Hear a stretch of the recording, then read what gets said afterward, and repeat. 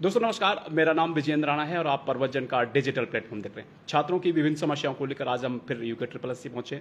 मार्तुलिया जी हमारे साथ जुड़े हैं। आप लाइव कमेंट और शेयर करते रहिएगा, अपनी समस्याएँ जो है बताते रहिएगा क्या क्या आपकी समस्या है, क्योंकि कुछ समय पहले जो हमने पोस्ट डाली थी, काफ़ी छात्रों की बहुत सारी समस्याएँ आई थी। उस एक के बाद एक जो समस्या है, वो हम आप सर के सामने रखेंगे। सर, स्वागत है हमारे इस प्रोग्राम में। जी धन्यवाद सर पहले तो बात वीडियो बीपीडीओ जो है एग्ज़ाम पर करेंगे। नौ तारीख को जो एग्ज़ाम होने वाला है क्या उसके एडमिट कार्ड क्या कब से जारी होंगे? कुछ छात्र कह रहे हैं कि अभी उनके मन में संशय बना हुआ नहीं ये संशय नहीं होना चाहिए। एडमिट कार्ड आज हम लोगों ने शुरू कर दिया है जी जी। और अपने संवाद में डाल दिया है। लोग कैंडिडेट जो है अभ्यर्थी जो हैं वो अपने एडमिट कार्ड को डाउनलोड कर सकते हैं। सर जो को बात कही जा रही थी कि ऋषिकेश में और जो हरिद्वार में जो बात कही जा रही थी कांवड़ मेले की वो उस वो पटकथा कहीं वो मुझे लगता नहीं कि वो कहीं अब सच बैठी नहीं वो बेसिकली हरिद्वार में हो सकता था ट्रैफ़िक प्रॉब्लम हो सकती थी।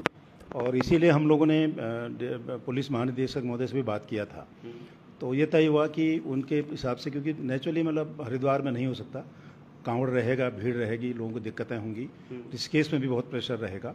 तो इसके लिए वो दोनों सेंटर के जो लोग हैं देहरादून के तो पहले देहरादून डिस्ट्रिक्ट ने शिफ्ट कर दिया लेकिन हरिद्वार को हम लोगों ने हरिद्वार उधम सिंह नगर और पौड़ी में शिफ्ट करने की कोशिश की है और नौ तारीख को एग्ज़ाम अपने समय से होगा। सर बहुत सारी परीक्षाएँ ऐसी हैं जहाँ जो है वेटिंग का वेटिंग का लोग अभ्यर्थी इंतज़ार कर रहे हैं। तो क्या आप क्या कहेंगे इन वेटिंग कब तक जारी होंगे विभिन्न विभागों की वेटिंग लिस्ट? तो वेटिंग जो हमारे यहाँ मेन रूप से एक तो वन आरक्षी का है उसका एक हमारे पास लंबित है जिसको हम लोग कोशिश करेंगे आजकल में उसका रिकमेंडेशन हम फॉरेस्ट डिपार्टमेंट को भेज दें। दूसरा एलटी का था जिसमें तीन क्वेश्चन चैलेंज हुए थे कोर्ट में जिसमें एक, उसमें हमारी एक मीटिंग तीस तारीख को होगी विशेषज्ञों की। एक आज मीटिंग है हमारी। और उसके बाद दोनों का एक्सपर्ट की रिपोर्ट के आधार पे हमें रिपोर्ट कोर्ट को सबमिट करके अगले मेरे ख्याल से हफ़्ते दस दिन में उसका रिज़ल्ट निकल जाना चाहिए हमारे। सर जल निगम की एक भर्ती था उसके विषय में भी जो है अभी तक उसके रिज़ल्ट के विषय में छात्र जानना चाहते हैं कि ये कब तक जो है रिज़ल्ट आ पाएगा? उसको हम कोशिश करेंगे अगले सप्ताह करीब तेरह चौदह तारीख तक उस पर भी हम फाइनल निर्णय ले लें और लेंगे भी हम लोग निपटाएँगे उसको भी। छात्र अपनी जो है समस्याएँ रखते रहिए क्योंकि आ, मेरे फ़ोन पर नेटवर्क नेटवर्क की प्रॉब्लम आ रही है। मैं कैमरामैन से कहूँगा जो है आप इस फ़ोन को जो है इसमें थोड़ा सा नेटवर्क इश्यूज़ देखें। और जो छात्र जो अपनी समस्याएँ रखना चाहते हैं उन छात्रों की जो हम समस्याएँ जो पढ़ेंगे एक, एक एक करके सारे सवाल हम लेंगे। और आप कमेंट्स ज़रूर कीजिएगा शेयर ज़रूर कीजिएगा लाइक ज़रूर कीजिएगा और बताइएगा कि जो है जो आपकी समस्याएँ हैं क्या क्या आपकी समस्याएँ सर रेशम विभाग के बारे में भी थोड़ा छात्र जानना चाहते हैं। रेशम विभाग के बारे में क्या आगे क्या प्रोग्रेस नहीं नहीं वो भी लंबित है हमारे पास और मेरी कोशिश ये है कि हम लोग जुलाई के बाद कोई भी पुराना चीज़ पेंडिंग ना रखें। कोशिश करूँगा मैं नौ तारीख के बाद जितने भी पेंडिंग हमारे पास हैं जी उन सब का निपटारा हो जाए। सर आ, वाहन जो परिचालक परीक्षा है इसके विषय में क्या जानकारी है सर? ये बहुत सारे छात्र कह रहे हैं। नहीं उस पर अभी कोई निर्णय हमने नहीं लिया है। हम्म। मैं नौ तारीख को एग्ज़ाम हो जाता है फिर वाहन चालकों के बारे में उस पर फिर विचार करूँगा जो भी होना है उसमें। अभी तक हम वाहन चालकों वाली परीक्षा को अभी हम लोगों ने टच नहीं किया है। जी सर। सर जॉली रेड्डी जी कह रहे हैं कि कनिष्ठ सहायक की नियुक्ति कब होगी? कनिष्ठ सहायक की नियुक्ति भी बहुत ज़्यादा समय नहीं लगेगा केवल क्योंकि 189 उसमें हर कैंडिडेट का अपने अपने चॉइस थी कहाँ मैं जाऊँ कहाँ मैं न जाऊँ मेरिट हम्म। के हिसाब से उनका आमंटन था हम्म। एक आमंटन हमने पहले किया था उसमें कुछ त्रुटियाँ रह गई थी हम्म। और उसको हम नए सिरे से कर रहे हैं और नेक्स्ट वीक में उसका रिज़ल्ट चला जाएगा सर अब पुलिस भर्ती में भी वेटिंग की बातें कही जा रही है तो क्या वेटिंग लिस्ट लगाई जाएगी या इस प्रकार का कोई पटकथा पुलिस की भर्ती हमारे पास केवल हेड कांस्टेबल की है रेडियो वाली उसके अलावा कोई लंबित नहीं हमारे पास और उसकी भी रिज़ल्ट हम लोग अभी बहुत जल्दी शुरू करेंगे। सर अधिकांश जो मैसेज आ रहे हैं कनिष्ठ सहायक को लेकर छात्र बहुत परेशान है सात सौ छियालीस पदों को लेकर। अभी भी छात्र बहुत परेशान है। अमूमन जितने कमेंट्स हैं सारे कनिष्ठ सहायक को लेकर आ रहे हैं। एक बार दोबारा हम जानना चाहते हैं कनिष्ठ सहायक का सर ये आखिर ये अड़चन आई क्यों? इतना समय क्यों लग गया सर? देखिए कनिष्ठ सहायक में सबसे बड़ी दिक्कत क्या आई कि इसमें केवल 189 हम्म। एक सौ नवासी उसमें चॉइस थी लोगों के पास। जी जी। डिपार्टमेंट की कौन कहाँ जाना चाहता है। हम्म।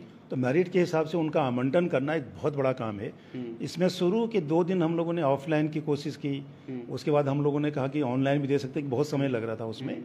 तो उसमें फ़र्स्ट फ़ेज़ के आमंत्रण में हो सकता है मेरिट के हिसाब से किसी को अपना चॉइस करना मिला हो। तो उसको हम दोबारा रिव्यू कर रहे हैं क्योंकि उसमें दोबारा डीवी भी हुई थी करीब तीस पैंतीस लड़कों की। और अब हम कोशिश ये कर रहे हैं कि फुल प्रूफ उनके चॉइस के हिसाब से उनके ऑप्शन के हिसाब से मेरिट के हिसाब से उनका आमंडन हो। नेक्स्ट वीक तक रिज़ल्ट निकाल देंगे उसका। सर आईटीआई अनुदेशक की भर्ती के बारे में बात करेंगे। आईटीआई अनुदेशक की भर्ती कहाँ तक प्रोग्रेस पहुँची सर उसमें हमारा काम पूरा हो गया है। उसमें कुछ अनुभव को लेकर के जो सर्टिफिकेट दिए गए हैं कुछ सर्टिफिकेट को थोड़ा सा हम लोग कोशिश कर रहे हैं कि उसका एक एक, एक थोड़ा सा उसके बारे में एक सत्यापन उसका करा लिया जाए कि क्या जो अनुभव तीन साल का था या दो साल का था वो सही सर्टिफिकेट है या नहीं। हम उसका भेज ज़्यादा बच्चे नहीं हैं। उसका मेरे ख्याल से अगले हम लोग हम भेज चुके हैं। जैसे उनका रिज़ल्ट निकलता है उनका आती है हमें आख्या उसके बाद निकाल देंगे उसको भी। रिज़ल्ट हमारा तैयार है।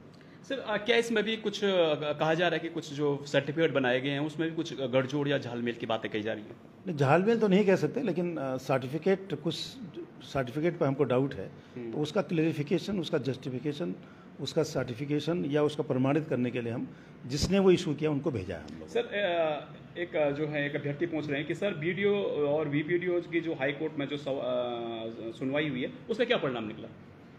बी पी डी और में कोई अभी हाई कोर्ट में ऐसी कुछ सुनवाई तो ऐसा कोई है तो नहीं कि एग्ज़ाम कैंसिल हो ऐसा तो कुछ भी नहीं है। जी जी उसमें ऐसा कोई कोर्ट ने डायरेक्शन दिया हो ऐसा भी नहीं है। हम्म। उसमें कोर्ट का ये था कि उसमें दो लोगों ने शायद एक ये दिया था कि मैं मेरी मदर एक्सपायर हो गई थी या पाँच मिनट लेट हुआ जी, जी. तो मुझे बैठने दिया जाए क्योंकि मैंने पहले एग्ज़ाम में नहीं बैठा हूँ मैं। वो एक कोर्ट का था उसमें आदेश। उस पर पाँच तारीख को भी अभी जो भी अगली डेट होगी उस पर हम चर्चा करेंगे। सर एक अरविंद बडोनी जी पहुँच रहे हैं कि सहायक कृषि अधिकारी भर, जो भर, पर, भर्ती परीक्षा है कि डेट कब जारी होगी और इसके फॉर्म दो साल पहले भरे गए थे? नहीं सहायक कृषि अधिकारी उसकी बात कर रहे हैं जिनका एग्ज़ाम हो गया प्रेस एग्ज़ाम की बात कर रहे हैं सब सर ये एक्चुअली ये दोबारा मैं इनसे कहूँगा कि आप कमेंट्स करें किस विषय में आप कह रहे हैं। सर हम दोनों पक्ष जानेंगे कि आप दोनों पक्ष जो है क्योंकि क्लियर हो जाए नहीं पुराना रिज़ल्ट तो देखिए ना उसमें सहायक कृषि अधिकारी और रेशम में थोड़ा विवाद था। हम्म। क्योंकि कुछ लोगों ने क्या किया कृषि अधिकारी ज्वाइन कर लिया लेकिन कृषि अधिकारी में शायद एक या दो साल तक उसको स्टाइफन मिलता था। पे हम्म। नहीं मिलती थी। तो हम्म। वहाँ गए तो उनको पता लगा उन्होंने वहाँ छोड़ दिया। फिर रेशम में प्रॉब्लम नहीं थी तो वो उस पर चल रहा वो भी हम लोग इसी महीने उसको भी खत्म कर देंगे जो भी काम कर रहे हैं। सर विक्की चौहान जी कह रहे हैं कि सर वन आरक्षी के तिरानवे पदों पर वेटिंग कब तक आएगी? हम लंबे समय से इंतज़ार कर रहे हैं। नहीं हमारे हिसाब से केवल चौवन या पचपन पद होने चाहिए थे उसको हम लोग तैयार कर रहे हैं। हम्म। और हमारी कोशिश है कि आज या कल में वो निकल जा रही है सर अन्य मुद्दों पर भी बात करते हैं सर। आप नौ तारीख को जो भर्ती परीक्षा होगी उसमें पारदर्शिता की बात करते हैं। ट्रांसपेरेंसी किस प्रकार से होगी? क्योंकि काफ़ी अच्छे प्रयास आपके द्वारा किए गए हैं। और जिनका परिणाम ये भी है कि पाँच दिन में जो है आपने रिकॉर्ड तम जो है रिज़ल्ट निकालें। ट्रांसपेरेंसी किस प्रकार से हो? क्योंकि आने वाला जो बीपीडीओ बीडीओ एग्ज़ाम है एक अच्छा एग्ज़ाम है इसकी बड़ी चुनौती आपके सामने। देखिए सबसे महत्वपूर्ण एग्ज़ाम है हमारे दृष्टिकोण से और स्टेट में सबसे वेतनमान के हिसाब से भी एग्ज़ाम थोड़ा बड़ा माना जाता है। स्नातक स्तरीय इसको ही कहते हैं। हम्म। और इसमें लड़के भी संख्या भी ज़्यादा होगी। हम्म। इसमें देखिए सबसे बड़ी चीज़ है कि हम बायोमेट्रिक करा लें जैमर लगा लें फ्रिस्किंग हम्म। चेकिंग ठीक से हो कोचिंग हम्म। सेंटरों का वेरिफिकेशन हो परीक्षा के दिन आने जाने वाले वाहनों की चेकिंग हो होटल ढाबों की चेकिंग हो तो उससे क्या होता है कि कोई बदमाशी करना भी चाहे तो वो नहीं कर पाएगा। हमें जितना प्रोएक्टिव होकर के कार्रवाई करेगी डिस्ट्रिक्ट एडमिनिस्ट्रेशन पुलिस एडमिनिस्ट्रेशन उतना ही हमको आसान होगा। हमारी कोशिश होगी कि हम समय से पेपर उनके पास पहुँच जाएँ हम्म। हमारे लोग समय से वहाँ पहुँच जाएँ हम्म। जो भी छोटी मोटी क्वेरीज है उनको हम पूरा करें हम्म। और समय से हमारा एडमिट कार्ड जारी हो जाए ये हमारी कोशिश होगी और पूरी पारदर्शिता के साथ एग्ज़ाम करने का प्रयास हुआ जिसमें डिस्ट्रिक्ट एडमिनिस्ट्रेशन का स्पेशली डिस्ट्रिक्ट मजिस्ट्रेट और एसएसपी का महत्वपूर्ण रोल होगा इसमें। उनसे हम मीटिंग कर चुके हैं उसे मैं प्रत्येक ज़िले में जाके मीटिंग कर चुका हूँ। अब प्रत्येक ज़िला जाने के बजाय मैं टेलीफोन से प्रत्येक डीएम एसएसपी से बात करूँगा। इस एग्ज़ाम की संवेदनशीलता को देखते हुए उनसे बात करूँगा। और एक आज एक चिट्ठी भी सबको हम जारी कर रहे हैं। पर्सनली हम्म। मैं खुद भेजूँगा उस चिट्ठी को ताकि हर आदमी इस एग्ज़ाम के प्रति संवेदनशील होकर के हम्म। पारदर्शिता के साथ अच्छे कोऑर्डिनेशन के साथ एग्ज़ाम हो ये हमारा प्रयास होगा। सर मनीष टमटा जी पूछ रहे हैं कि आ, हमारा सेंटर रुद्रप्रयाग से देहरादून क्यों डाला गया? पहाड़ों में जो है इस प्रकार सेंटर क्या क्यों क्या समस्या आ रही? देखो ऐसा नहीं कि हमारी कोशिश ये भी होता है कि जो सेंटर कहाँ मांग रहे रैंडमली हम लोग करते हैं। हम्म। और हो सकता है सेंटर चेंज हो। एक हम्म। एक लड़की मेरे पास आई थी कि मेरा सेंटर रुद्रप्रयाग के देहरादून कर दिया जाए। हम्म। तो ये पॉसिबल नहीं है। रैंडम थोड़ा सा देखते हैं हम लोग कि सेंटर के लिए अब चिंता नहीं होनी चाहिए लोगों को। देखिए सेंटर कहीं भी हो सकता है। अब आप कभी आप देखिए नीट वीट के एग्ज़ाम में पता नहीं कहाँ से कहाँ से कहाँ पहुँच जाते हैं आप लोग। हम्म। लेकिन ऐसा कुछ नहीं है रैंडमली हम चेक कर रहे हैं। हो सकता है कि वहाँ उतनी जगह ना हो हम्म। लड़के ज़्यादा हों सेंटर ज़्यादा हो हम्म। उसकी कैपेसिटी कम हो ये भी कारण हो सकता है। लेकिन कहीं भी एग्ज़ाम हो एग्ज़ाम देना चाहिए लोगों को। सेंटर के लिए परेशान मत हो अपनी मेहनत विश्वास करो ना। सेंटर पे तो पहुँच जाएँगे आप। बिल्कुल सर। सर एक अभ्यर्थी लिख रहे हैं कि आगे कौन कौन सी जो है भर्ती होंगी और कब तक नोटिफिकेशन आएगा? देखिए अगली भर्ती हमारे पास करीब 550 पद के अध्याचन हमारे पास हैं। उस पर अभी हम लोगों ने कोई काम नहीं किया अभी शुरू। हम्म। हम इस स्नातक स्तरीय एग्ज़ाम हो जाता है हम्म। और पुराने पेंडिंग जो भर्ती हैं जो जिनके रिज़ल्ट निकालने हैं हम लोग को वेटिंग लिस्ट निकालनी है उसको निकालने के बाद एक अगस्त से कोशिश करेंगे कि जो हमारे पास नए अध्याचन है उस पर हम कार्रवाई करें और सितंबर अक्टूबर तक उन एग्ज़ाम को शुरू करा दें। सर एक अभ्यर्थी है मनीष टमटा जी ये कह रहे हैं कि अ, हमारा जो एग्ज़ाम सेंटर था वो रुद्रप्रयाग था और जो अब हम कैसे जाएँगे कांवड़ मेले की प्रॉब्लम बता रहे हैं। कांवड़ मेले के प्रोग्राम रुद्रप्रयाग में नहीं है। देहरादून ने दिया देहरादून में भी नहीं है। आप ऋषिकेश से बड़े आराम से आ सकते हैं। आपके पास बाया पौड़ी आ सकते हैं। कई रास्ते आने के लिए ऐसा नहीं है। हाँ अगर हरिद्वार होता तब मैं समझ सकता था। अदरवाइज़ हर आदमी पहुँच जाएँगे। देख कांवड़ का कोई प्रेशर दस से पहले नहीं होगा।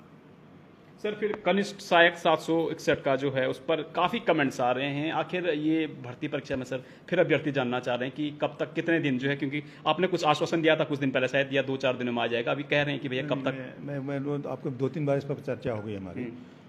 हमारी सबसे बड़ी समस्या है एक सौ उनचास वन एट्टी नाइन हम्म, एक सौ उनपचास कितना कहेंगे? वन एट्टी नाइन जी जी जी। चॉइस को लोगों को मेरिट के हिसाब से देने में थोड़ा समय लग रहा है हमें। और हमारी कोशिश है कि अगले हफ़्ते इसका रिज़ल्ट निकल जाए। कोशिश हमारी ये होगी इसी हफ़्ते निकले बहुत अच्छा। नहीं तो अगले हफ़्ते तो उसको निकालेंगे निकालें। निकालना ही तो है ही हमें। बिल्कुल क्योंकि पहले वाले चॉइस के हिसाब से थोड़ी सी लोगों को ऑब्जेक्शन था तो उसको ठीक कर लिया हम लोगों ने। उसको निकालेंगे अगले हफ़्ते। सर दीप सैनी जी कह रहे हैं कि जो है हरिद्वार वालों के साथ इतना अन्याय क्यों किया जा रहा है? कांवड़ मेले के दौरान हरिद्वार से बच्चों के सेंटर नैनीताल उत्तरकाशी अल्मोड़ा डाल दिए गए हैं। कांवड़ के दौरान कैसे जा पाएँगे इन्होंने? और जो है कांवड़ की जी प्रॉब्लम बता रहे हैं सर।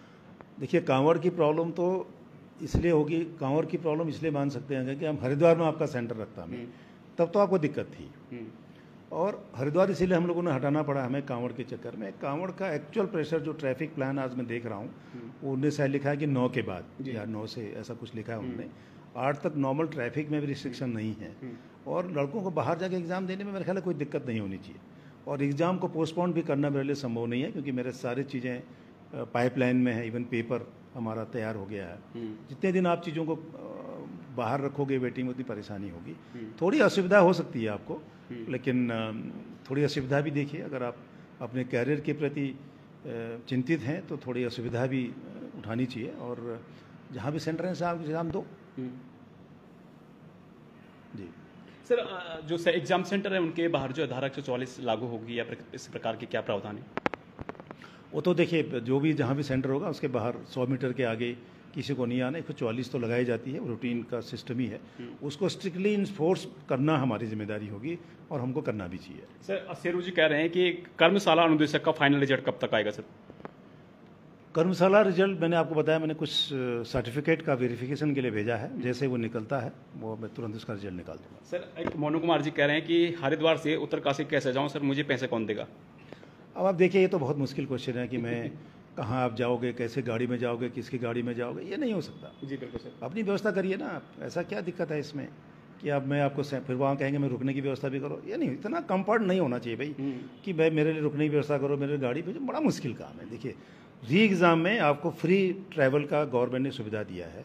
अगर आप रोडेज की बस में रुद्रप्रयाग अगर आप उत्तरकाशी जाते हैं तो आपसे किराया नहीं लिया जाएगा। ये गवर्नमेंट ने पहले सर कर ये रखा ये है ये बात जो आप कह रहे हैं एक्चुअली पिछली बार जब छात्र गए थे तो छात्रों को जो है रोडवेज़ वाले आ, सरकार ने ऐलान तो किया था पर रो- रोडवेज़ रोडवेज़ की जो बसें हैं वो रोकते ही नहीं छात्रों के लिए कि जो है घाटा न हो जाए। अब उनको क्या पता यार एग्ज़ाम देने वाला है नहीं वाला है ये बड़ा मुश्किल। अब स्टेशन में खड़े रहोगे तो गाड़ी रुकेगी। लेकिन वो फ्री काफ़ी लोगों ने किया उसका बिल रेज किया है रोडवेज़ ने।